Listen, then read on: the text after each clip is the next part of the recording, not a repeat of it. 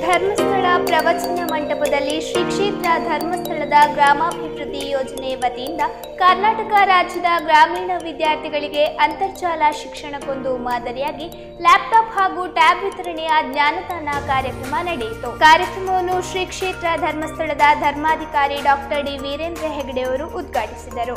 ನಂತರ ಮಾತನಾಡಿದ ಅವರು, ಕೋವಿಡ್ ಆಂತರಿಕ ಭಯಭೀತ ಸನ್ನಿವೇಶದಲ್ಲೂ ಗ್ರಾಮೀಣ ಭಾಗದ ವಿದ್ಯಾರ್ಥಿಗಳು ಶಿಕ್ಷಣದಿಂದ ವಂಚಿತರಾಗದಂತೆ ಗ್ರಾಮಾಭಿವೃದ್ಧಿ ಯೋಜನೆ ಮುಖೇನ ಅತ್ಯುತ್ತಮ ಯೋಜನೆ ಅನುಷ್ಠಾನಗೊಂಡಿದೆ. ಕರ್ನಾಟಕದ ಕ್ರಾಂತಿಕಾರಿ ಬೆಳವಣಿಗೆಗೆ ಕ್ಷೇತ್ರದ ಒಂದು ಸಣ್ಣ ಕೊಡುಗೆಯಾಗಿದೆ ಎಂದು ಹೇಳಿದರು. ಒಟ್ಟಿಗೆ ಈ ಮೂವತ್ತು ಸಾವಿರ ಈ ಯಂತ್ರಗಳು ವ್ಯವಸ್ಥೆ ಇದನ್ನು ವಿದ್ಯಾರ್ಥಿಗಳು ಸರಿಯಾಗಿ ಬಳಸ್ಕೊಳ್ಬೇಕು ಅನ್ನೋದು ನಮ್ಮ ಒಂದು ಆದೇಶ.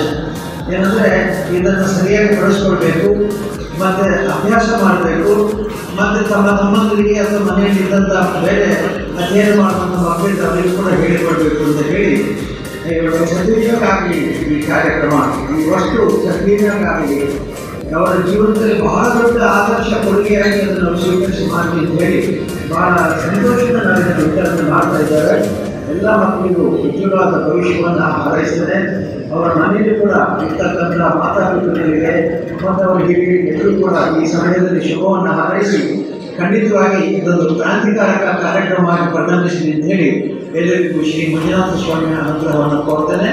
ಮತ್ತು ಎಲ್ಲ ರೀತಿಯಲ್ಲಿ ಕೂಡ ನಮ್ಮ ಕರ್ನಾಟಕ ಈಗ ಪ್ರಗತಿಪರ ಜಿಲ್ಲೆಯಾಗಿ ರಾಷ್ಟ್ರವಾಗಿ ರಾಜ್ಯವಾಗಿ ಇಡೀ ಭಾರತ ದೇಶದಲ್ಲಿ ಕರ್ನಾಟಕದ ಪ್ರಗತಿಯಲ್ಲಿ ಎಲ್ಲರೂ ಬಹಳ ಸೂಕ್ಷ್ಮವಾಗಿ ಗಮನಿಸ್ತಾ ಇದ್ದಾರೆ. ಹಾಗಾಗಿ ನಮ್ಮ ಧರ್ಮಸ್ಥಳ ಗ್ರಾಮೀಣಾಭಿವೃದ್ಧಿ ಯೋಜನೆ ಒಂದು ಸಣ್ಣ ಸೇವೆ ಈ ಪ್ರಗತಿಗೆ ಪೂರಕವಾಗಿದೆ.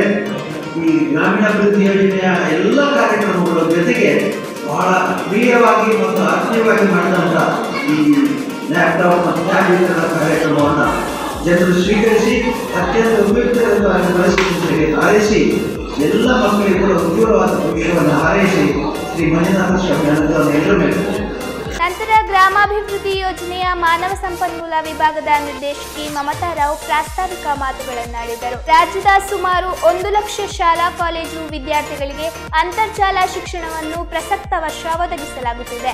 ಐದರಿಂದ ಹತ್ತನೇ ತರಗತಿವರೆಗೆ ಆರು ವರ್ಷಗಳ ಪಠ್ಯಗಳನ್ನು ಕನ್ನಡ ಮಾಧ್ಯಮದಲ್ಲಿ ತಯಾರಿಸಲಾಗಿದ್ದು, ಇದು ಫ್ರೀ ಲೋಡೆಡ್ ಆಗಿದ್ದು ಇಂಟರ್ನೆಟ್ನ ಅವಶ್ಯಕತೆ ಇಲ್ಲ.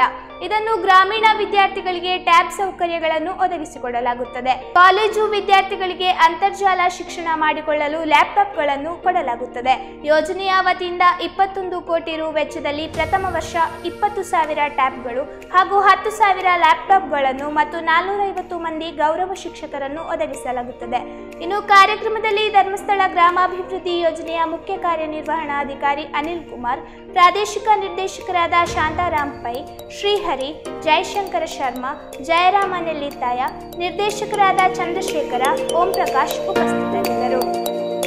ಮುಳಿಯ ಚಿನ್ನೋತ್ಸವ, ಬೆಳ್ತಂಗಡಿ ಮತ್ತು ಪುತ್ತೂರು ಮುಳಿಯಾದಲ್ಲಿ ನವೆಂಬರ್ ಐದರಿಂದ ಹದಿನೇಳರವರೆಗೆ ಪ್ರದರ್ಶನ ಮತ್ತು ಮಾರಾಟ, ಮುಳಿಯ ಜುವೆಲ್ಸ್, ಅಮೃತ ಮಹೋತ್ಸವ. ಈ ಬಾರಿಯ ಮುಳಿಯ ಚಿನ್ನೋತ್ಸವದಲ್ಲಿ ಅನಾವರಣಗೊಳ್ಳುತ್ತಿದೆ ಅಪರಿಮಿತ ಆಯ್ಕೆ ಮತ್ತು ವೈವಿಧ್ಯಮಯ ಆಭರಣಗಳು. ನಿತ್ಯ ಜುವೆಲ್ ಸೀರೀಸ್ ಇಪ್ಪತ್ತೆರಡು ಕ್ಯಾರೆಟ್ ಫಿನಿಶಿಂಗ್ ಉಳ್ಳ ಹದಿನೆಂಟು ಕ್ಯಾರೆಟ್ನ ಬಳೆಗಳ ಆವರಣ.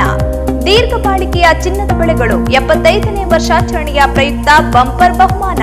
ನೀವು ಇಚ್ಛಿಸುವ ಚಿನ್ನದ ಖರೀದಿಯನ್ನು ಸಂಭ್ರಮಿಸಿ ಮುಳಿಯ ಚಿನ್ನೋತ್ಸವದಲ್ಲಿ ಇಂದೇ ಭೇಟಿ ನೀಡಿ ಮುಳಿಯ ಕೇಶವ ಭಟ್ ಸನ್ಸ್ ಶುದ್ಧತೆಯನ್ನು ಮೀರಿದ ಪರಿಪೂರ್ಣತೆಯಡೆಗೆ. ಸಂಪರ್ಕಿಸಿ Belthangady nine three four three double zero four nine one six, Puttur nine eight double four five seven five nine one six.